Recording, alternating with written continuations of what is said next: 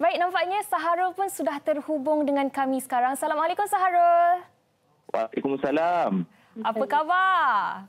Sehat, Alhamdulillah. Dan, sehat ke? Uh, sehat, Alhamdulillah. Di sebelah Saharul yang cantik manis tu tak lain tak bukan adalah isterinya, Kabila Medina Emir. Apa khabar? Alhamdulillah, sehat. Sehat, Yana. Ali di mana? Aku ada kat bawah. Bawah-bawah ni. Okey. Okey ke tu dekat rumah sekarang? Okey. So far, okey, Alhamdulillah. Alhamdulillah. Okey. Sekarang ni siapa nak jawab dulu? Sebenarnya antara Saharul dan Dina, siapa yang lebih sentap? Dia ikut keadaan lah. Dia ikut keadaan. Okey, keadaan yang bagaimana yang membuatkan Saharul lebih sentap dan Dina lebih sentap? Mungkin boleh kongsikan. Siapa dia? Uh, saya rasa suami saya, sejujurnya dia sebenarnya lagi lagi cepat sentak. Okey. Uh, hati dia lagi lembut daripada saya walaupun dia lelaki. ya ampun itu jauh. Tak dia macam ni. Kita kita bukan sentak sebenarnya. Tapi kita cakap kepada orang yang kita sayang kan. Kadang-kadang apa yang apa yang dia cakap tu uh, walaupun dia tu uh, dia memberi kesan kat kita sebab kita sayang. Contohnya uh, apa ah? Apa Contohnya? contoh? Macam kadang sebab saya dah terbiasa dengan adik-beradik saya uh, berseluruh secara kasar lah. So saya terpraktikkan juga kepada suami saya. Uh, macam contoh saya cakap macam i uh, aku saya guna perkataan aku Ah, saya tak boleh macam tu. Saya uh, pegang, Oh. guna aku kau dalam dalam ni saya tak boleh. saya sebenarnya berseluruh je tapi dia macam take it serious benda tu Okey. Ni menarik ni. Mungkin kita kita setelah Dina kongsi tentang ini, mungkin kita dapat melihat sudut berbeza seorang Saharul Rizwan sebab biasanya kita tengok dia sangat-sangat macho di kaca televisyen kan. Tapi uh, antara anda berdua, antara Dina dan Saharul, siapa sebenarnya yang lagi pandai memujuk? uh, of course dia dia sebab dia dia hati dia lebih lembut daripada saya walaupun saya kalau ikutkan normal kita perempuan ni kita lah lebih cepat touching, sensitif kan. Mm-hmm. Tapi bagi saya kebalik. Dia sebenarnya. Dia lebih senang memujuk. Uh, dia lebih senang terasa.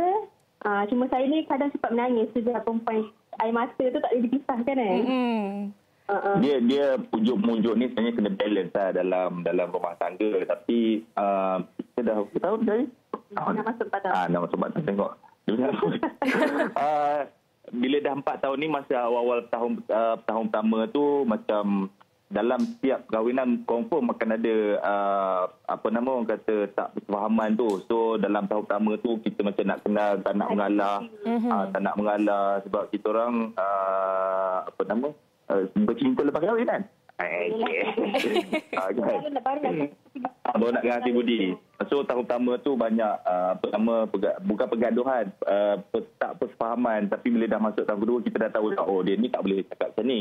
So kita mengalah. Kadang-kadang walaupun kita terasa mm-hmm. uh, dengan pasangan yang sentap ni uh, tak tak rugi kalau kita mengalah. Sebab apa? Mengalah tu untuk membaikkan keadaan itu benda tu bagus. Mm-hmm. Okey, dan untuk anda berdua, kalaulah salah seorang tu sentap dan sebagainya nak pujuk, penting untuk ada komunikasi antara Dina dan juga Saharul. Jadi mungkin boleh kongsikan sedikit tips kepada penonton di luar sana bagaimana untuk memastikan kalau dalam sesebuah perhubungan suami isteri itu untuk sentiasa bahagia.